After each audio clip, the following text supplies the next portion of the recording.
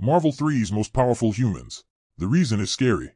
Blue Marvel. Adam Brashear is not a well-known character among most of the public, but that still makes him one of Marvel's most powerful heroes. Known as Blue Marvel, Adam gained his powers after an accident involving a reactor that manipulated energy from the negative zone.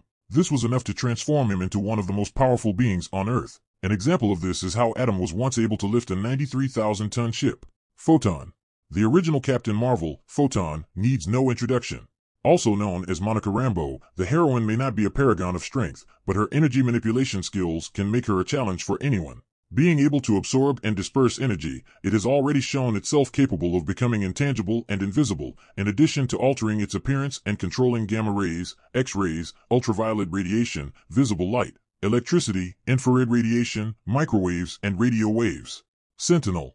Robert Reynolds gained the power of a million exploding suns while hunting for drugs in a scientist's laboratory. Under the name Sentinel, he became one of the most powerful beings on the planet.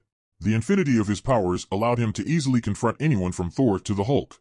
His dangerousness is something constantly remembered by some other hero in the comics. In theory, Sentry is capable of destroying anyone who gets in his way. Hulk. The Hulk has been named, countless times, as one of the most powerful characters on Earth.